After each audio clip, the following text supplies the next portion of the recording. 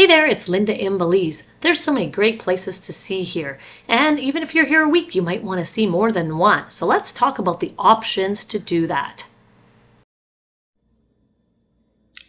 So what if you want to go from Placencia to Ambergris Caye? Many people want to see both, especially if they're looking for a place to invest or retire. So I'm going to talk about some of the options to do this. Often I drive my own car and park in Belize City and take the water taxi. But my partner John on this recent trip was coming in later than me. So I took a bus. Not one that's the local bus for really affordable, but something in the middle. So let's talk about the different options depending what you want. Are you looking for more affordable or do you want the quick, quickest option depending on the length of your trip? Belize. I'm in the Floralia bus on the way to Belize City. So rather than taking a flight, this bus is perfect. It's air conditioned, has charging stations, and it's great for taking Coco with us on the She's sound asleep. So going from Placencia to Belize City has a few options. And the first one I'm going to talk about is the what we did, which is the bus from Placencia at 6 a.m.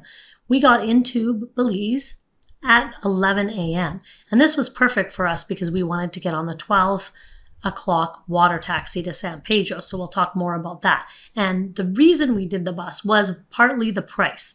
So if you look here, going from Placencia, I'm going to click on it here. Going to Belize City, the bus terminal. You can see that it goes either at 2.45 uh, or at 6 a.m.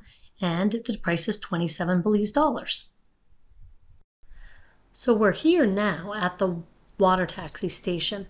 So the bus, like we said, cost 27 Belize. And then we took a taxi right outside the bus terminal and it actually said Belize Express on it. And that cost us an extra $15 Belize. And then we went to purchase our water taxi ticket, which was 41 Belize dollars. So what is our total cost? 83 Belize, so 41.50 US, which is a lot more affordable than a flight, which we're going to take a look at next.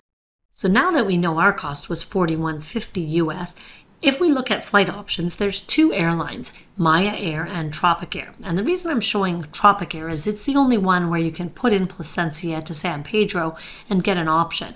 With Maya, you would have to do the multi-city option and it's more expensive to do that. So Tropic is the cheaper option in this case, getting from Placencia to San Pedro. So you can pick any date you want to just check prices. But because we're kind of at the end of January here, I'm just going to go into February just to pick a random date to see what the price looks like.